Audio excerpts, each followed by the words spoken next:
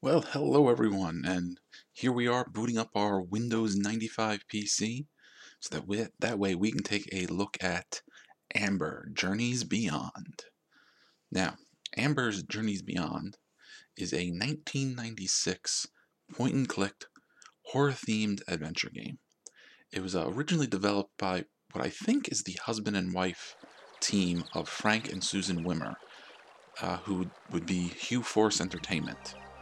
Uh, originally, they would publish the game, but then over the years, a couple of different companies would also become responsible for the publishing, such as Cendant Software and Changeling Software.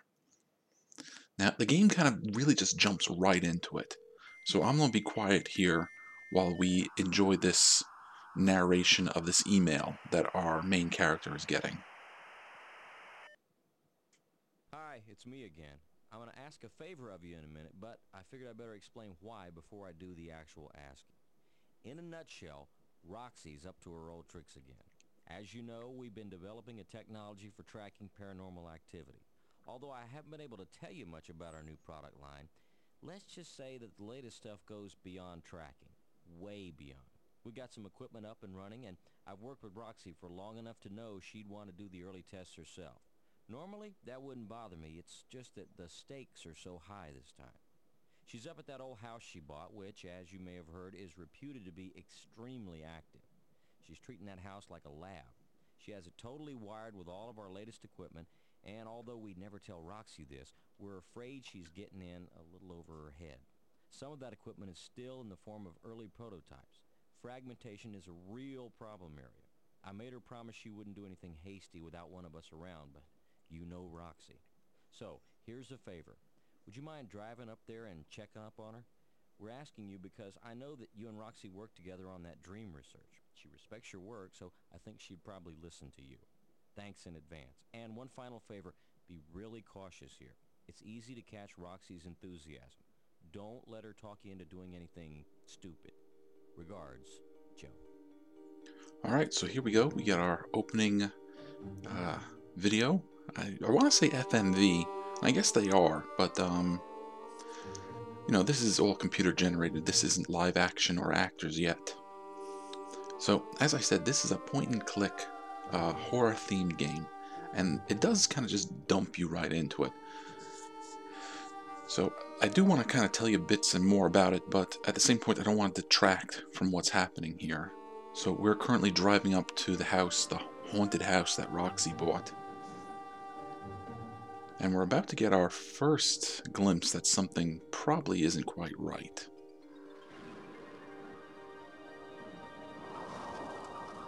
And right into the pond.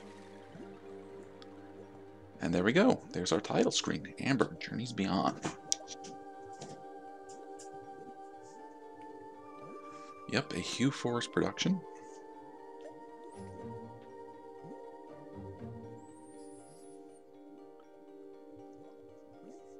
There's who we have to thank for our modeling and our sound effects.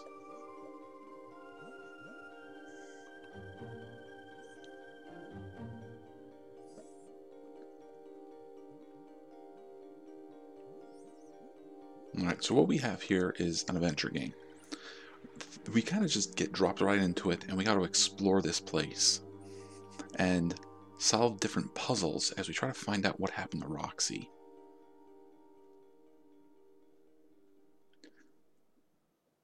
Alright, there we go.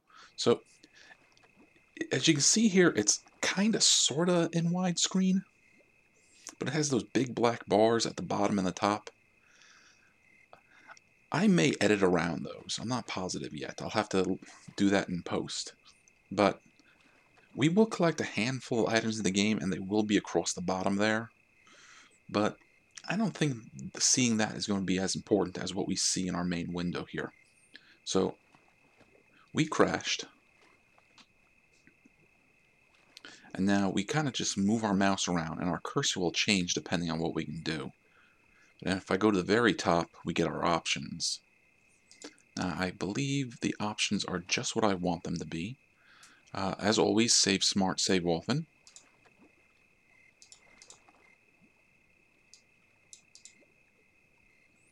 Now the cursor will change when we can do things.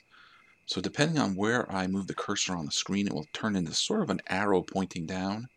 If we click, well, we move. Now we have a new uh, view. So if the cursor turns in that kind of diamond, that means we can move in that direction. If the cursor uh, changes into those arrows, we can turn in that direction. Now I'm purposefully going to avoid looking at the pond. And we're just going to kind of walk back towards that road. Now we could follow the road back up to the house. Or we could follow the road back where we came. And just, you know what? Just wipe our hands of this whole ordeal and just get going. Now, there's a little sign here. It turns to a question mark. If it turns to a question mark, that means usually we can examine it or do something with it. And we find out this is the road to nowhere. Our only options are to hit the mouse button and go back to this screen. So if we just keep going forward, well, those mountains, they don't they don't look like they're getting any closer now, do they? Our only option is going to be to turn around and go back the way we came. In fact, we should see the sign again. Yep. Now, I don't know if this is supposed to be representative of maybe the spirits here uh, preventing us from leaving, or if maybe it was just a fun way for the programmers to keep us in the game. But we're going to start heading back towards the house. And we can actually see it from up here. And this is, I think, part of the fun of the game, is, you know, examining the environment from different angles and seeing what's there. In fact, from here we can see our car. We can really take a look at it out on the water. Well, if that's as far as the car has gone, it's probably not that deep.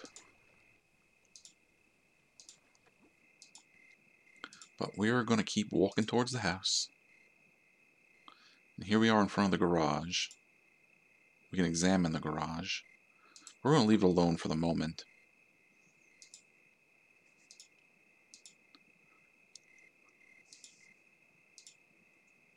Alright. Well, let's take a look at the mailbox over here. Well, sure enough, there is a package. Now, it's a little hard to make out, but it's got the address here. It looks like it's in North Carolina. Yep, Dr. Roxanne Westbridge, 16 Southgate Drive, Samaria, North Carolina. And what do we have in this box? We got a note. Hi, Roxy. Enclosed is a new oscillator you asked for. We've adjusted the input per your instructions. The folks in the lab thought it was an interesting idea to range up, to up the range a bit while we were to up the range a bit while they were at it. You'll have to let us know how it works out. Anyway, it should fit right into the unit just like the last one. If you have any problems with it, give me a call. Hell, call me after your first trial no matter what. I'm dying to know how it goes. Regards, Joe. Well, Joe may have been encouraging Roxy a little more than he lets on. And there's that little oscillator. At least I think that's what it's called. So there it is down there at the bottom of the screen, and we can click on it, and then we can use it in the environment. Right now we don't have anywhere to use it. So we're just going to put the empty package back in the mailbox. And let's just try the front door. Alright. So we're inside. The, pace, the place is pitch black. Some of it has a very, very creepy feel to it because of how dark it is. And we can sort of hear something, like a rumbling almost. Now, because it's pitch black, we can't do anything in here. Can't do anything in here either. Fact, it's so dark, we can't even see our hands in front of our face. But we can see something in the corner of the room. Looks maybe like a giant server or something.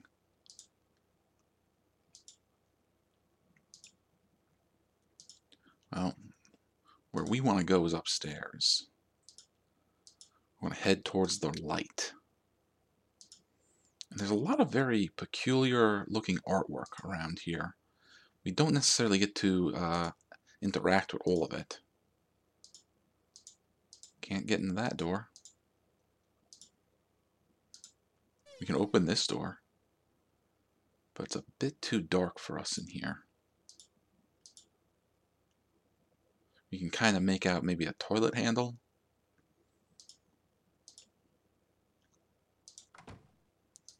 There's this door that leads out onto the balcony.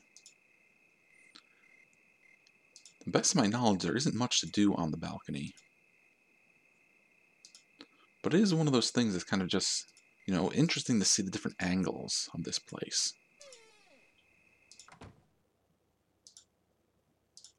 What we do have is this room here.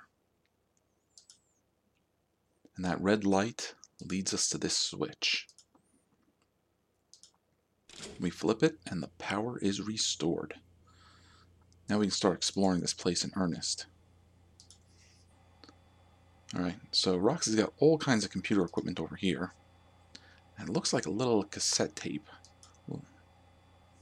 This little videotape we're going to want. We can get a nice look at this really nicely rendered mouse. Photograph of trees, what looks like maybe a little raven.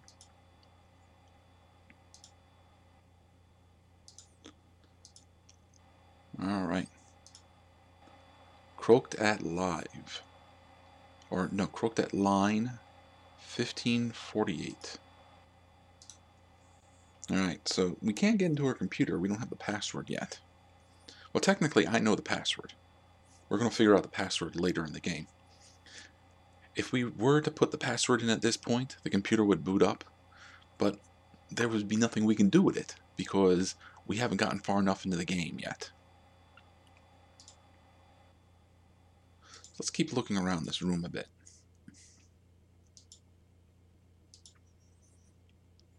Miskatonic University.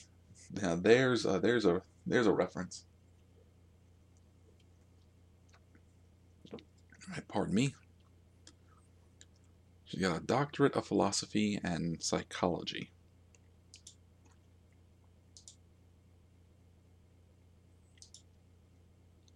Yeah, she uh she likes the weird paintings.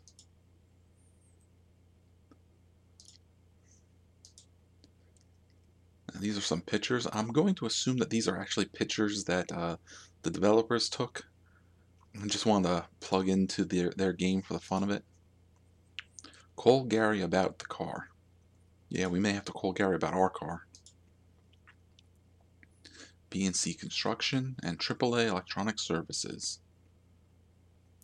Now, I re do remember going through this game a couple of times thinking I may have to call people, but that thankfully does not end up being the case.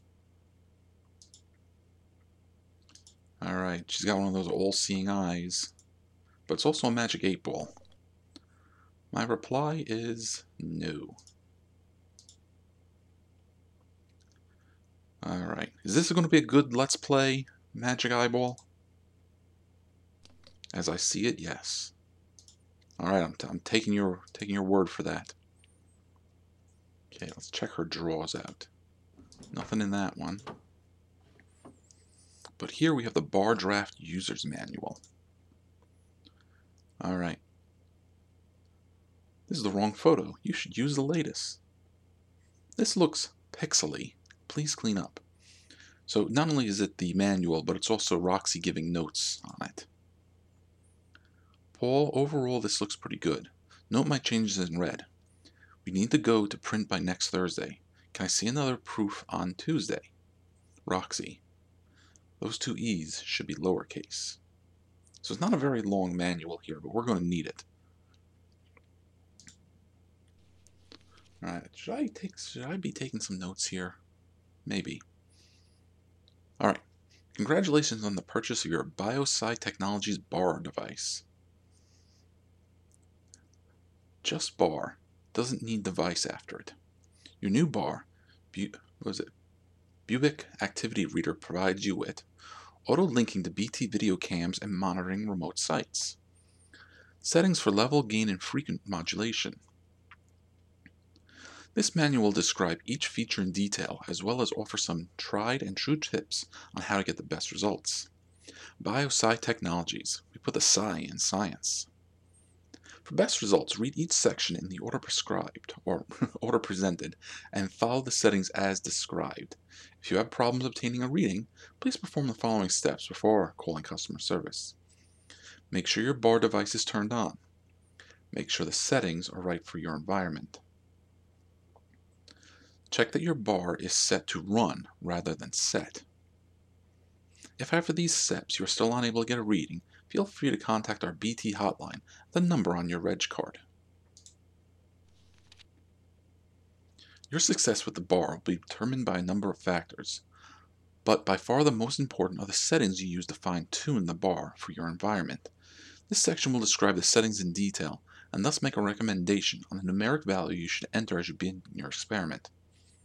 Please note, some combinations of settings will cause the bar to display ERR. If this happens, enter a different value generally resolves the error. To help you on a specific wavelength of electromagnetic energy, you may adjust the level setting on your bar device. A low level setting causes the bar device to register activity from all sources, including living beings. A low setting would therefore be appropriate for uncongested areas with very weak signal. Conversely, a higher setting will screen out interference from living animals and focus the bar on stronger signals. Our lab suggests a value is preferable for level, and level 6 has given the most reliable results in our test environment. So I'm going to note that down real quick. I got a little notepad open here. So we're going to set level 6. And we're going to get back into the game. Gain. Once you have narrowed the range of electromagnetic energy through the level settings, adjust the relative strength of the individual signal by adjusting the gain. And little note up there from Roxy is this there are too many hyphens on this page. This setting enables you to amplify the electromagnetic energy which is being read. Gain is a very powerful feature and should be used with discretion. If the gain is too high, you risk interference from common appliances, which could mimic paranormal activity in a power surge. However, if you set the gain too low, you might eliminate the signals you are wishing to detect. Another factor in isolating activity is the frequency modulation of the electromagnetic signal. Typically, humans and other living animals have a short cycle on their wavelength while paranormal activity has been associated with a long cycle. Therefore, the frequency mod setting allows you to screen out all wavelengths that belong to living creatures. To accomplish this, you must set the frequency mod to a sufficiently high enough to screen out all living entities in the surrounding area. We have determined that a frequency mod setting of 8 is sufficient to screen out all living beings and provide a clear, strong signal. So again, I will be writing that down we want a frequency mod of 8. But we do not have a gain yet.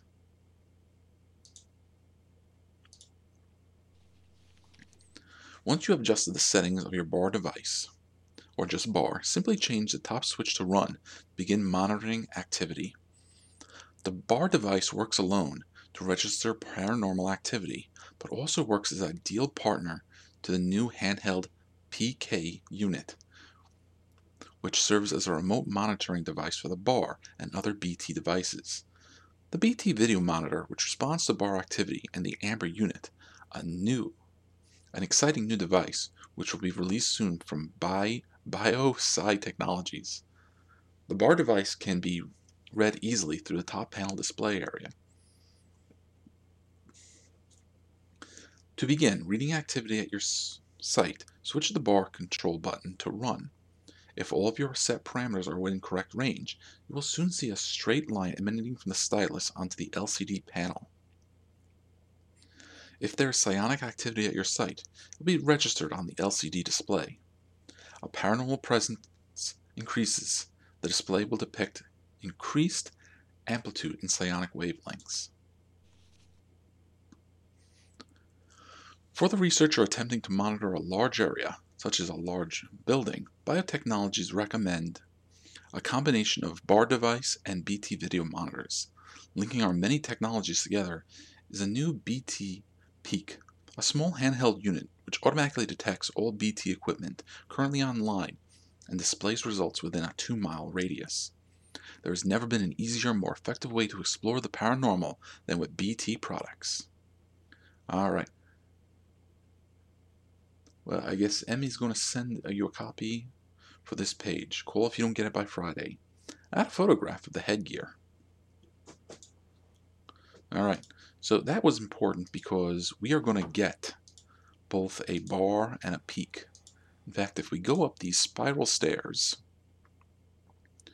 there's a little something right here. And there it is. It's our peak device.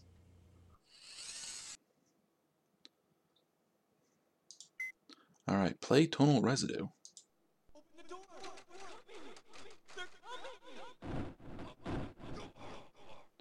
Oh, well that sounded like somebody pleading and then getting very, very angry.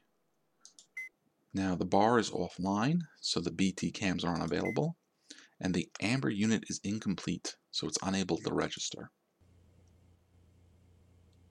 Now that little peak uh, device will respond when things are happening. In fact, if we look up here, there's one of those cameras. In fact, now that we got the power on and we start looking around the house, we're going to notice those little cameras around here.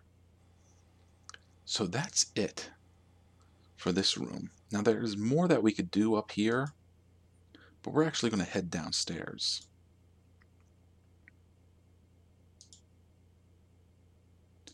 So if we go here in the living room, on the table is a phone. Maybe we should try calling for help.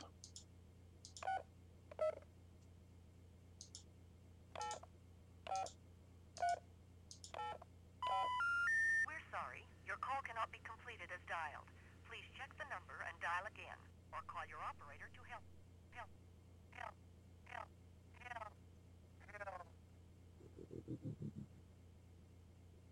So yeah, a little creepy.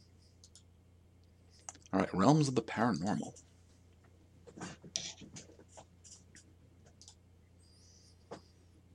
Okay. This might be long, so bear with me. Alright. Introduction. Upon first glance at this volume, you may wonder why this great planet needs another book on the topic of the supernatural. Certainly there is no lack of comp compilations on this topic. However, this decade, few empirical, validated theories have existed in this field. The poor reputation of paranormal research was, in part, the result of unwise and uneducated theories of paranormal existence. The growing respect for paranormal research will certainly find its way in the general public in the, hopefully not too distant, future. It is the hope of this author that this book will hasten this occurrence. Breakthroughs in atomic measurement techniques have led to two major theories which support the presence of spirits. The first, essential force theory, po posits that spirits are electromagnetic in nature and are therefore trackable via modern technology. The second, stone tape theory, uses anthropology to open gateways to the past. While neither of these theories have been validated, it is my opinion that both theories will emerge as verifiable results verifiable truths in the future. In the interim, these theories are explained in detail with the hope that the field researcher may find new approach for his or her research. Other chapters in this volume contain information gleaned through personal experience with the paranormal. After investigating over 200 reporting sightings, I have developed strong opinions regarding what ghosts are and how they live, and have speculated how our Earth appears to them. These ideas are stated in chapters 3 through 5 and are offered for your consideration. I spent my career chasing ghosts and wish to close this introduction with some advice for the beginner. Keep your mind open, try everything, and be on guard at all times. The paranormal field is exciting precisely because we do not know what is out there, and there are risks in exploring the answers. So that's probably an important thing right there. Keep your mind open, try everything, and be on guard. Alright. Now, I don't remember if this is actually 79 pages long. It seems like it, though. I don't know if I want to read through all of this, though. Let's just take a quick... No, it jumps around a bit. So let's try to read this whole thing. Essential force. Within the last decade, scientists have come closer than ever to determining the presence of spirits. This is largely due to the essential force theory, which posits that life on our planet is driven by a common, essential, or psionic force. The concept that spirits are electromagnetic is not new, but the essential force theory asks important new questions. If spirits are electromagnetic and can be read by mag magnetic meters, magnetometers, can their current electromagnetic current can be manipulated any way? And perhaps more to the point, can a predictable magnetic formula be developed which could which would locate the presence of a spiritual plane? The answer to this question is vital to unraveling, unraveling the mysteries of the afterlife. For certainly, once we have identified the various electromagnetic components of the essential force, we may then be able to project our own consciousness into the spirit realm. So far, research has shown that there is evidence of electromagnetic residue at the sites of documented hauntings, and that this psionic force develops into waves of intensity just prior to a paranormal event.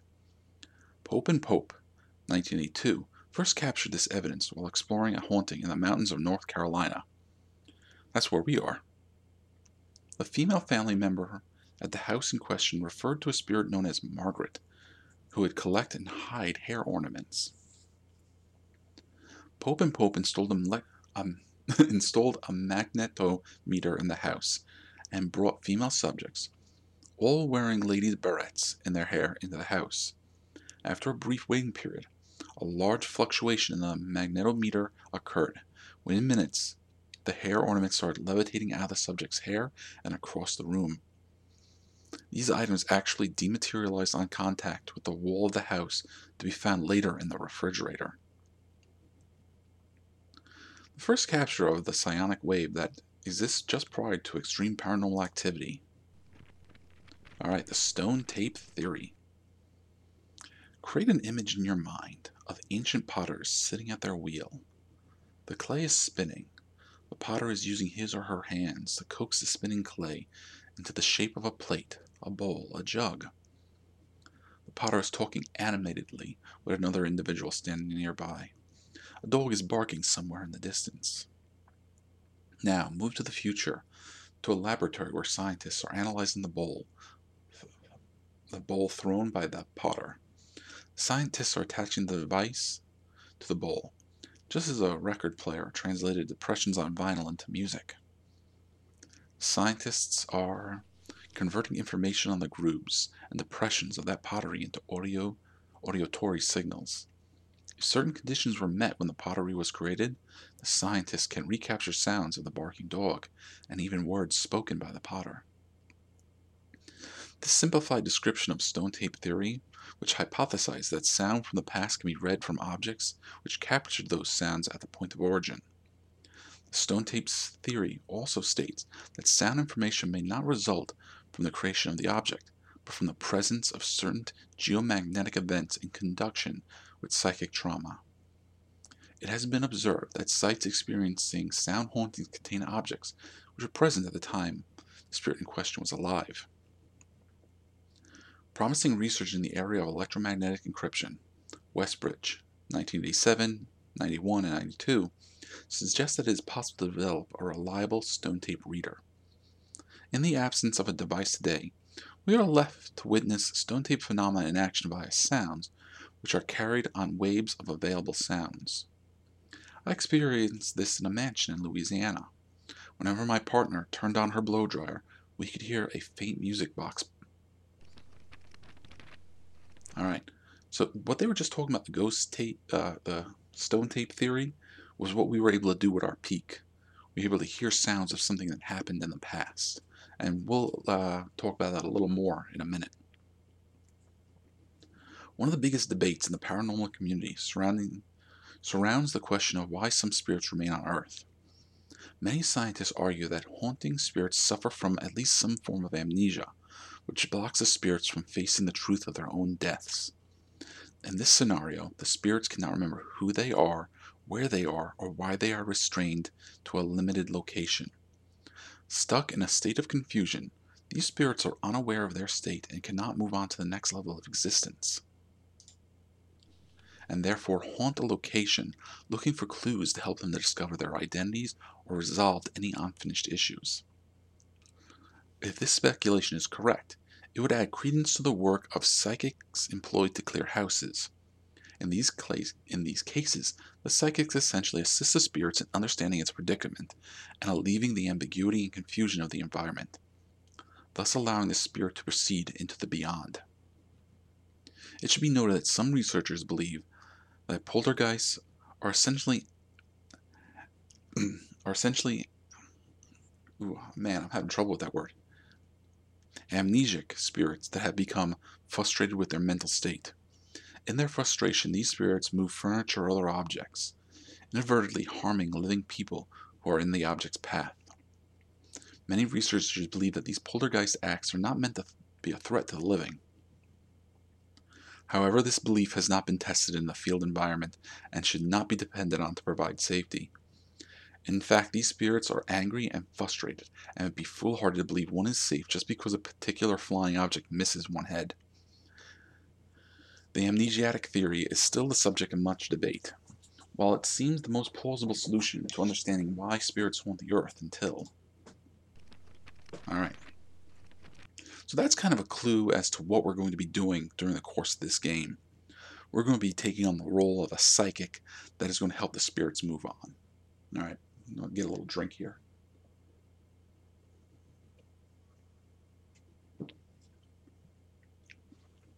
Where ghosts live.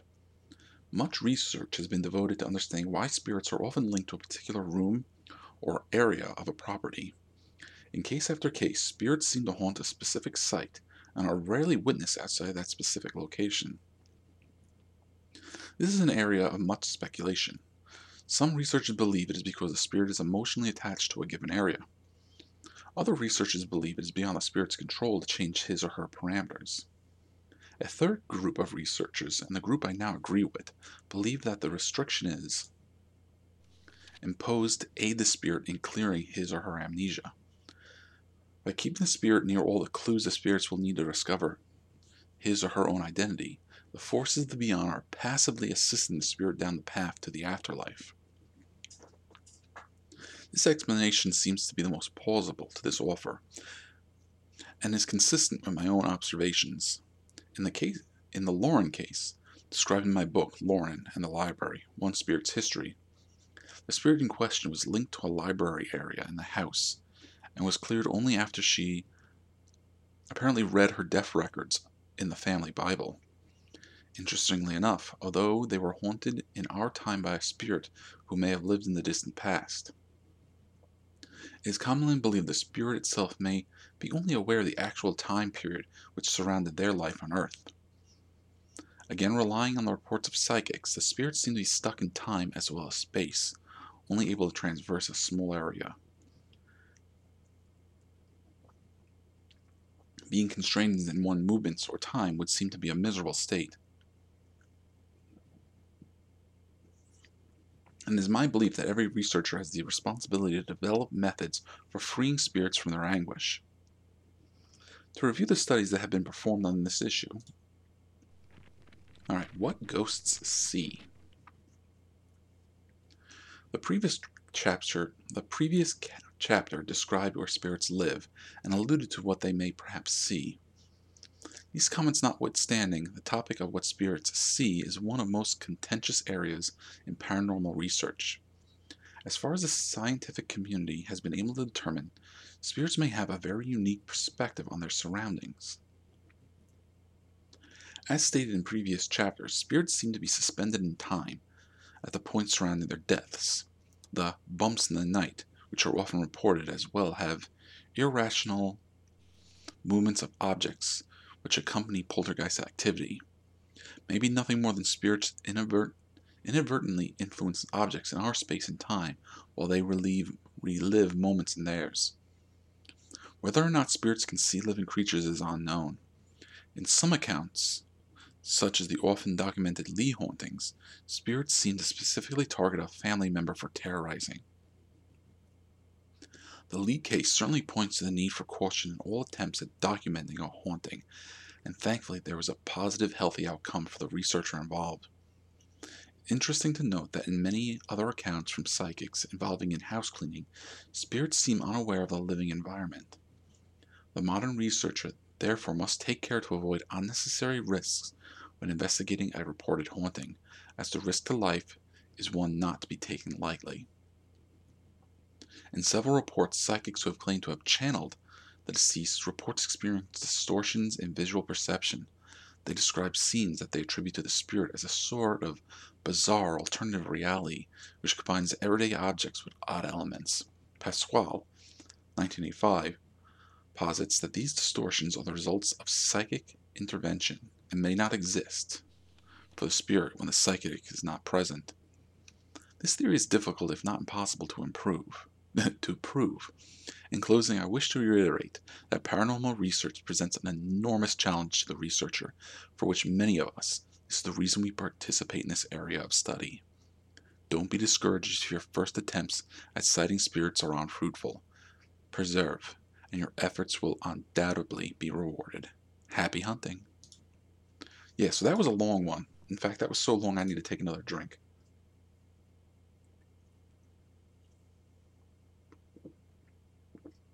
But this is almost like the instruction manual for the game.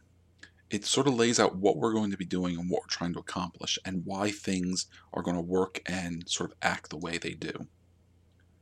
All right. Looks like we got almost like a clock here, stopped at 9, 8.50, 7.50 maybe? Now the most interesting thing in here is actually over in this corner. And this is our bar. Now right now it's, it's on set. So let's power it up. Now right now we have the level. We want to set the level to 6. We don't know what the gain is yet, but we are going to set the frequency mod to 8. Now if we try to run it, we get an error. So we're going to have to let it alone. Nice painting of a zebra, I guess. But now we can get a good look in this room. And right here, this is it. This is the Amber device. Now it's hooked up to that little machine over here.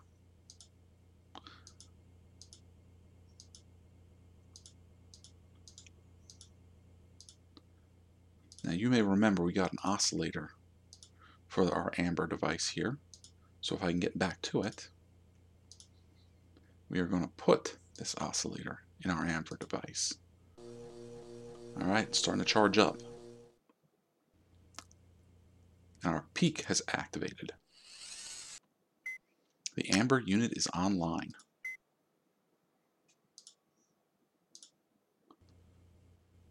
Now the Amber unit still needs a few more things done before it can be used. Let's keep exploring the house. Actually, over here by this desk. Alright, it's a little tough to read, but test settings, check breaker switch. I guess it says send specs for collector. Check amber headgear.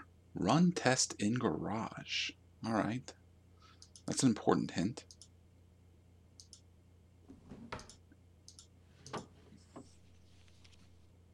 All right, on the haunting edge, exploring life after death. Unorthodox scientist takes on the ultimate mystery. I think this is Andre Mercer. All right, Boston. At first glance, the office of Dr. Roxanne Westbridge founder and CEO of Biosite Technology, looks like any other high tech office with tons of computer equipment and cables flowing around the room. However, on closer inspection, it is easy to see there's one big difference. Instead of developing hardware that crunches numbers or creates pretty pictures, Dr. Westbridge, or Roxy as her employees call her, is developing technology that she hopes will give us some answers about life after death. While it may seem unorthodox, this foray into the unknown is the latest step in a company history that has been filled with successful elex- eccentricity, eccentricities.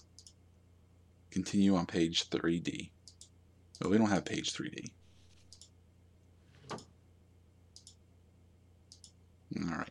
Now over here in the dining room is some very important things. Oh, what was that?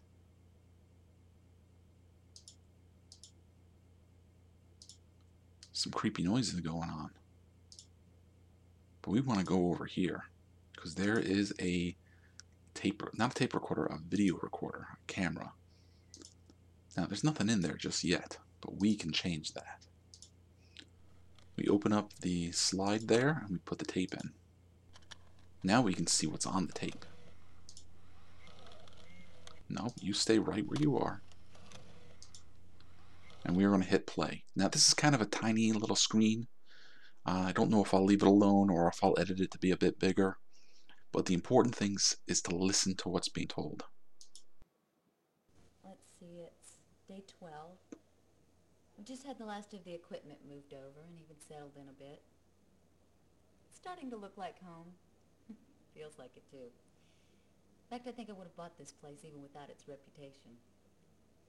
Anyway, I still have to set up the cameras and then I'll get back to the research.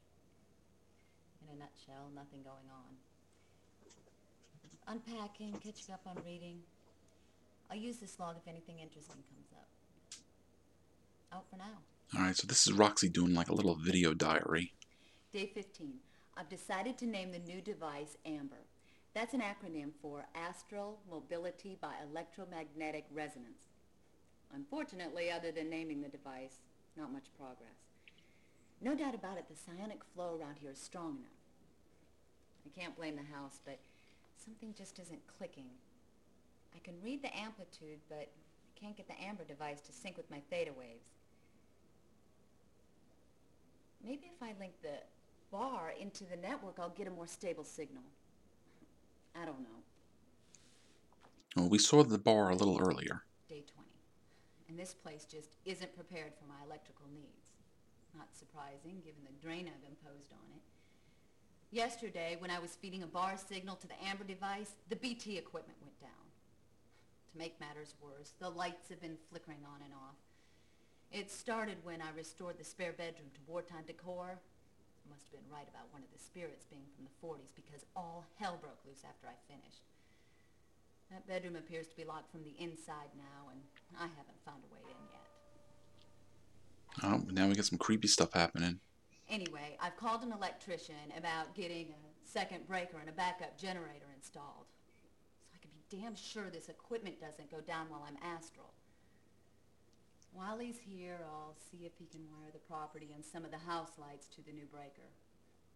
Hopefully that'll solve some of my problems. Yeah, that's a big hint. She's been overtaxing the power on the building. Day 24. I've tried, but things just aren't going right. The house has the activity that I need. But I can't get the AMBER device to keep up with my theta. The computer driving the system definitely has the power, so I guess I'll just have to make these routines more efficient. I'm also having the guys from the lab send me a new oscillator. Maybe with that and getting the bar online, all this will finally come together. It took me a couple of days to figure out that I had an error in my original calculations, that I should set the bar gain to 5 to get the bar operating. I get these routines pared down and each of the units online, I'll try Amber again. Hopefully that'll be soon. I'm convinced there's at least two spirits stuck here. They seem to want interaction, and I'm pretty sure I can get to them. It, it's just getting back that's unknown at this point. All right, so right there was the very important. doesn't get here soon, I'll make the most of the one I have. It was very important. We want to set the game to five. This is incredible. I've just detected an astral disturbance in the garage. The activity around here is peaking, so I'm afraid I may never get a chance like this again. As a result, I've decided to take this opportunity to test the Amber technology. Fortunately, I never got around to unpacking the garage, and the beater's in the shop again. As for my own safety, well, anything for fame and fortune, right? Anyway, maybe this will work and maybe it won't. Either way, I'll find out what's behind the curtain. Roxy out. All right, so that was a lot of information that Roxy just dropped in our lap. There, she thinks there's at least two spirits here. They've been messing around with the power. Well, or perhaps she's been messing around with it because she's taxing it too much. Now, uh, taking a quick look at my notes here, it says that Sandy Fix is the actress that played Roxy. Um, I just have her name. I don't know anything more about her than that. But she also decided to test this because there was a lot of activity happening, even though she wasn't fully prepared. The house hadn't been rewired to have more power, and she didn't get the oscillator for her amber unit. In fact, that's what she was wearing around her forehead. Now, we want to check out these cabinets. Wilt and Die, General Weed Killer. That's going to be important fairly soon. Just some glasses in there. But now that we know from her uh, testing what the gain should be, we're going to go back to the bar unit.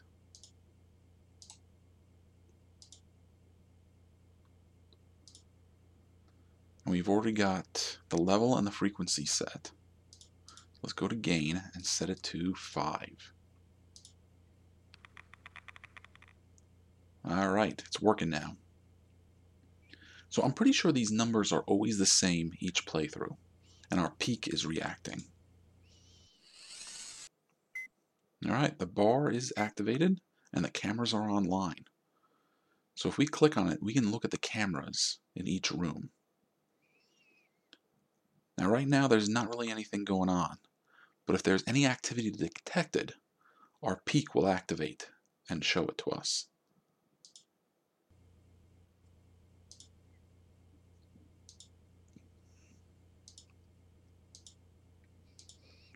So through the dining room, there is a way into the kitchen. And see up there, one of the cameras.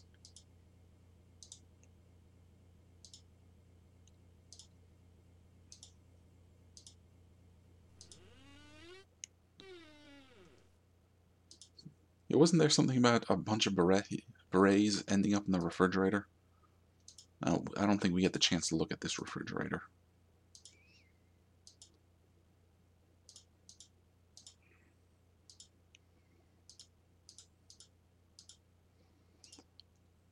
While there is plenty to explore and poke around in the kitchen, there's not much actually to do. It's got peanut butter crispies.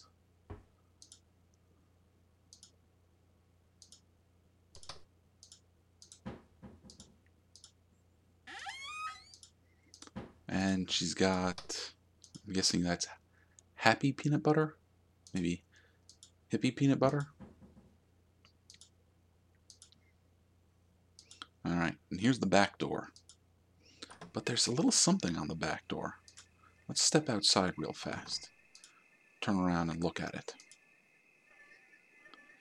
There's a little something attached to the doorknob here. And if we press this red button, it will turn off. And then we can take it.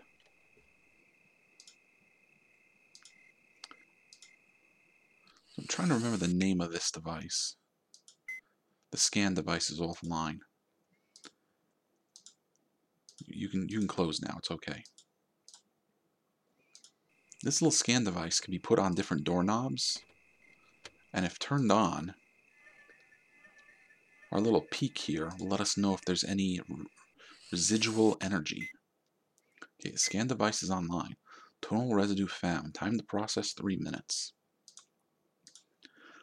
I'm not quite sure if that's real time, but we've already heard what that one has to say. Now we can follow this path down to the boathouse, or we can go around back. And here's the garage. Now there's a little padlock there. The door handle doesn't work. We can, oh, our peak is acting up. Activity detected. What's going on? Um, what's happening in the house? Oh, the door's moving.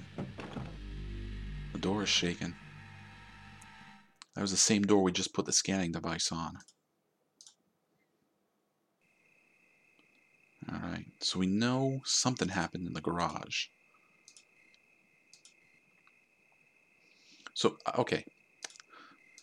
We go here, the obvious way is the door. There's a little padlock. It makes perfect sense that maybe, you know, during the course of the game, we're going to find a key. We're going to find a key that will bring us uh, into the garage. We can look in the garage and see what's going on. Makes sense, right? That's not the case. And this has happened to me uh, once while I was replaying the game so I could remember how to do everything. And it had to have happened to me the first time I was playing.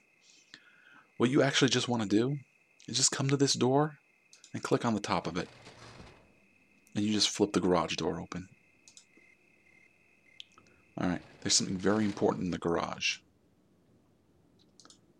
That's right, a crowbar. Now the garage appears to be empty, but there are stairs up to like a loft or something. what do we have up here? Well, look here. There she is. Roxy, are you okay? No, she's not okay. There's something very bad going on. And we don't know how to help her. At least not yet. So let's keep exploring.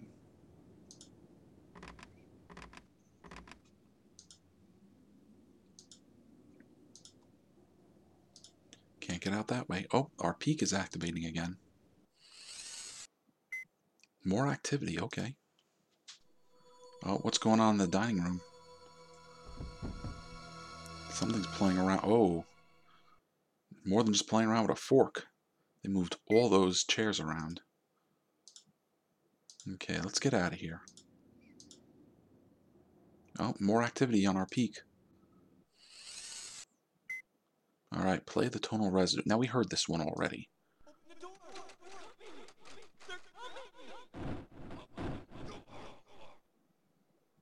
Yeah, so somebody was trying to get into the house. Somebody who did not sound happy. And that somebody may have been who was trying to force their way into the door. Actually, let's go around the long way. Just so you can kind of see some of the stuff.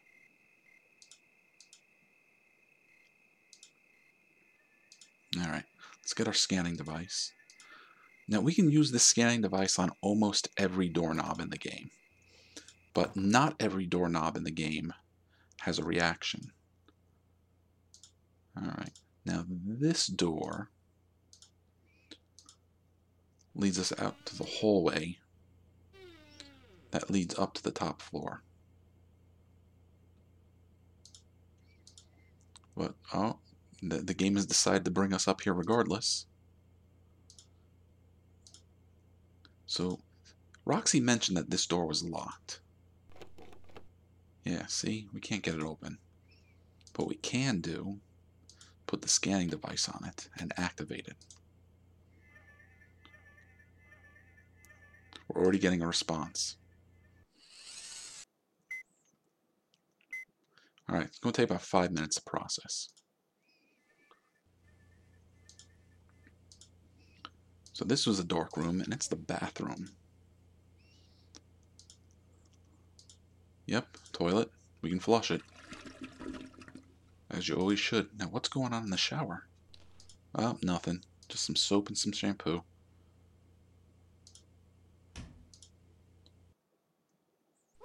Oh.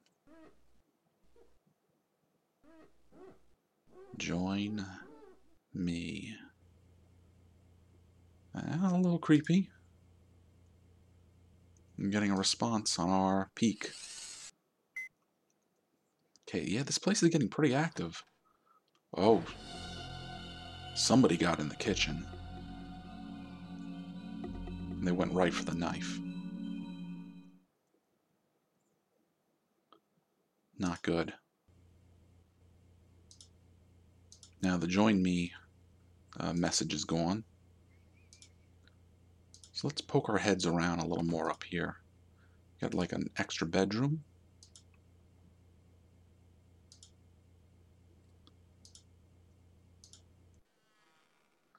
Got like some little wood figure over here.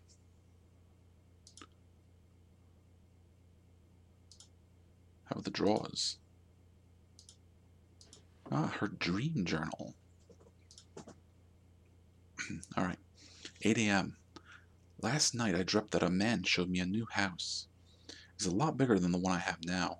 I didn't like the house, but I liked the property. There were lots of flowers. The man came outside and became angry that I had gone outside.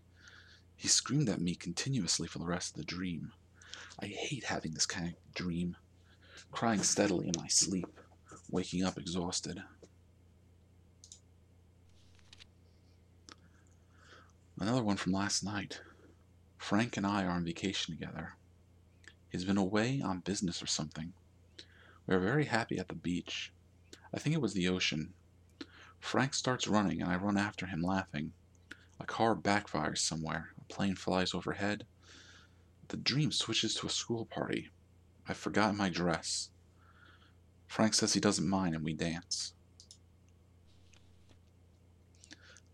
Tuesday night, 2:30 a.m. A lucid dream.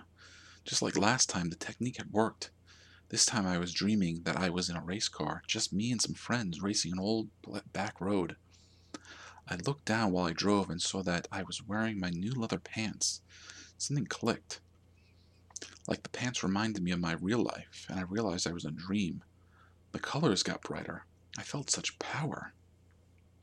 I knew I had control of the dream and that I could do anything. So I drove the car up in the air, and all of us just flew for miles on end. It lasted like that for a few minutes, it seemed. And just as suddenly as I as it had started, I lost concentration and woke up. Oh, now the writing is getting a little sloppy. Second dream at a party. I know everyone. A little boy walks up and gives me a glass of water. Too sleepy to remember anything else. Thursday, 6 a.m. I was back in high school in my room, very bored and looking for something fun to do. I rolled my hair into a French twist with the ends sticking out at the top like a fountain. I get up and dance around laughing. Then I stop twirling. I see a man on a ladder looking in the window at me. He scares me. I scream and wake up. So I'm pretty sure those were Roxanne's uh, dreams but they're kind of uh, informative about things that have been happening here. You got these weird vases. Nothing exciting in any of these drawers. How about over here in the closet? Up, up, spooky robes. uh, yeah, nothing in here. There is one more thing to look at. There's a TV in here. What's on the TV? Wait a second. That's the that's the, the, the kitchen. That's the hallway leading up to the stairs and Oof. Alright, so whatever that was, it knocked us on our ass. Time to get back up. More activity. Alright, we got some tonal residue.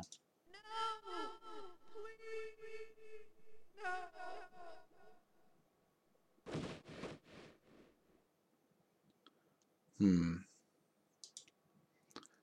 Kind of sounds like maybe someone calling for help and then maybe like a gunshot. Alright.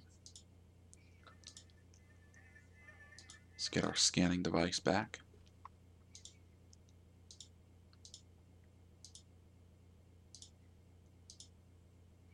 So creepy things have been happening.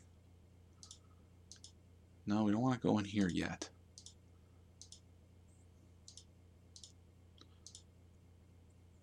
Don't want to go up the stairs either. I want to want to get into the kitchen from here. And we'll head back into the dining room through here. And oh. Was that maybe a, a look at who was ever trying to get into the house?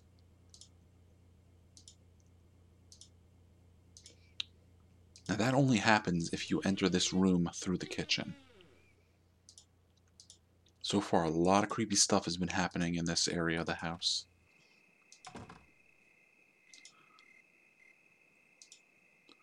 Alright, now what? Activity detected. Oh, that's back up in the bedroom.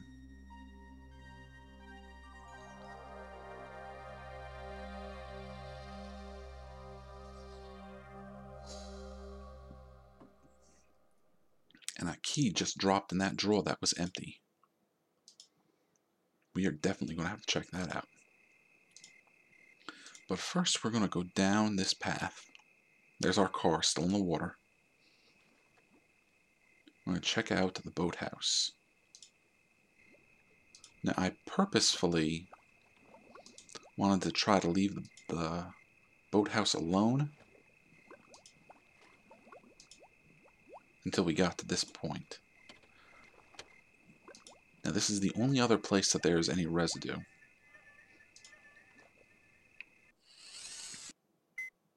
Scan device online. Tonal residue found. Time to process 3 minutes.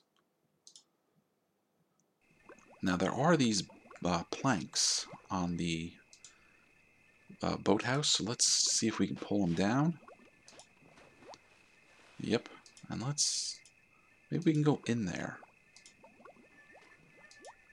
Uh, maybe not while the tonal device is scanning, so we'll let it alone for a minute.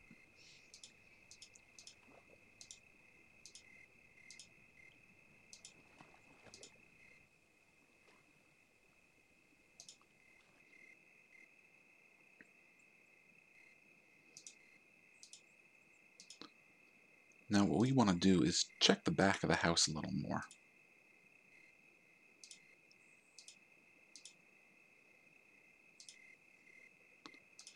Because it's, you, you may not notice it the first time, but there's a path that goes up here. But it's blocked off. Blocked off by like all these overgrown weeds and plants. We have something for that. Fast acting.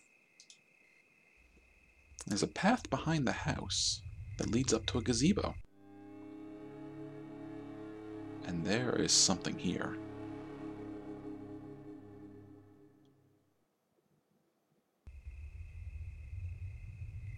So, as you walk around the gazebo, things will happen. But first, let's listen to our activity.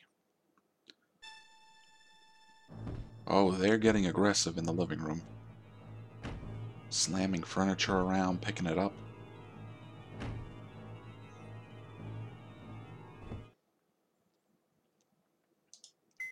No activity. So, um, shadow going by. In fact, almost any time we move by the gazebo out here, there's going to be a shadow that moves with us.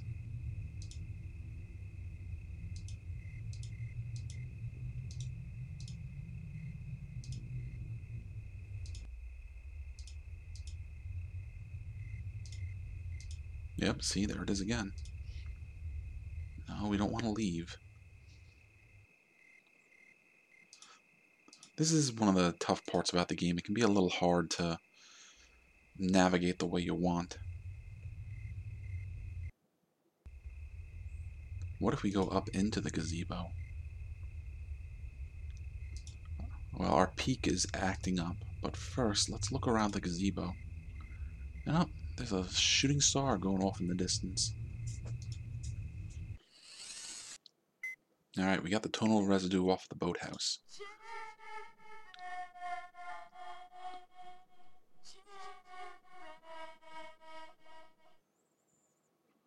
Like a voice calling out for something. Now, I always thought the voice was saying something like Chansey. Or Chauncey, maybe. But I think it's actually Chippy.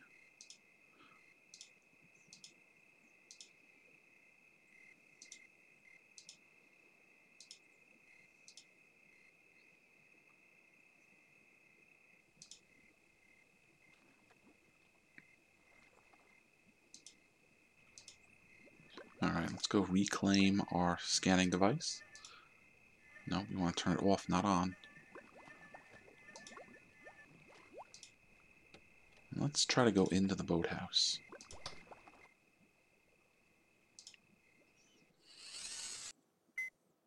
Scanning process interrupted. Scan device offline. That's okay, we know that was happening.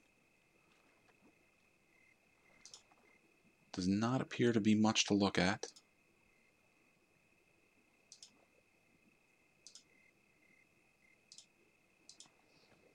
But now what if we turn and look towards the water? We can look down.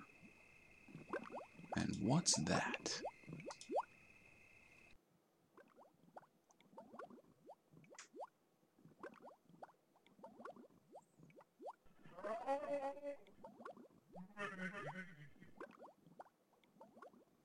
Yeah, some creepy ghost face screaming for help.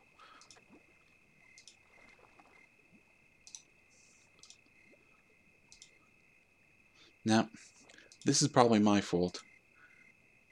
Normally you're supposed to turn and look at... Oh, there it is.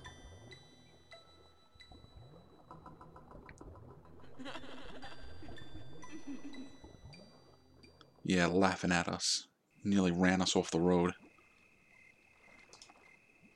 So yeah, I thought we almost missed that. But that, I think, is just about every creepy sighting that we can get. I think there's one more.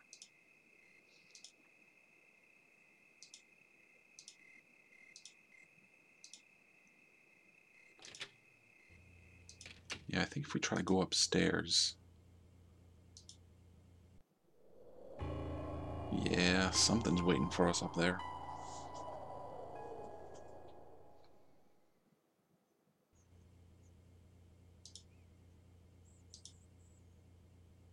Oh, now what? More activity. Now, we have not seen that room before. The walls are bleeding. In fact, the walls are bleeding so bad they're flooding the room.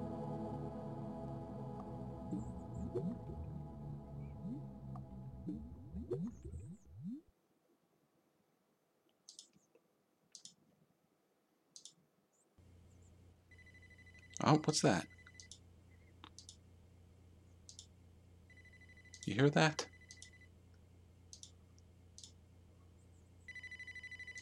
Phone's ringing. Somebody must want to talk to us. Hello? Hello? It's, it's me, Roxy. I can't hear you. Oh, but I can sense that you're there. I had to warn you. The Amber device, it's riddled with fragmentation errors. I thought I'd reached Astral, but I'm not sure anymore. I seem to be divided between several locations. Everything looks different. I must be drifting in and out of consciousness. I, I keep switching. Ted? Is that you? Who is this? Who is this? Are you there? Don't let anyone come after me. It's too dangerous.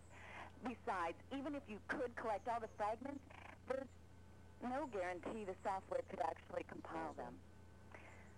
Thanks, and, well, and tell everyone else. Bye for now. Alright, so it seems like Roxy was able to contact us. Kind of let us know what's going on. Oh, more activity.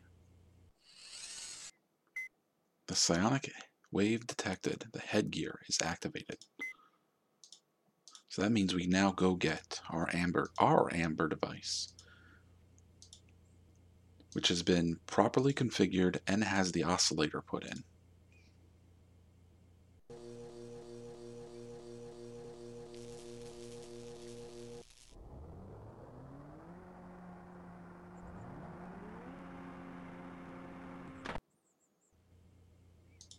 Alright, there we go. And now you can see we have like these little straps to the left and right that lets us know we're wearing it. Alright. Headgear modulating EEG flow to match current. One moment, please. Surf's up.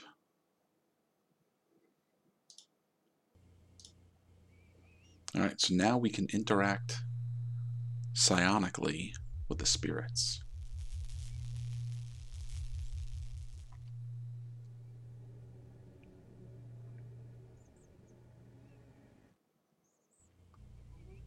Alright, well we have an idea where two of them are.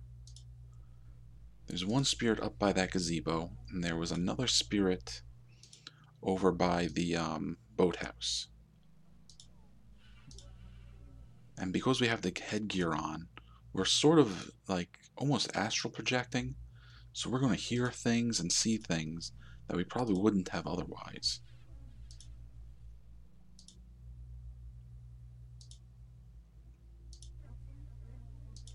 Now, we saw a key get deposited.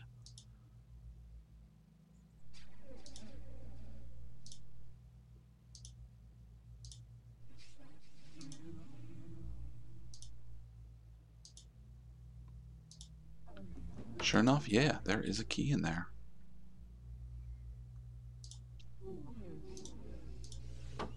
And we came across, well, we came across two locked doors, technically but it's really for this door.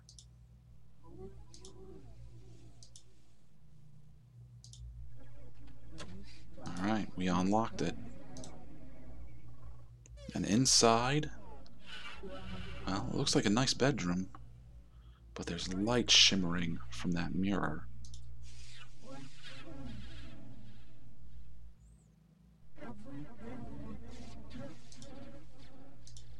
Well, things don't seem quite right.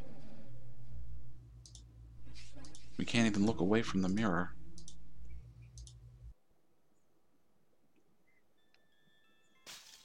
And into the mirror we go.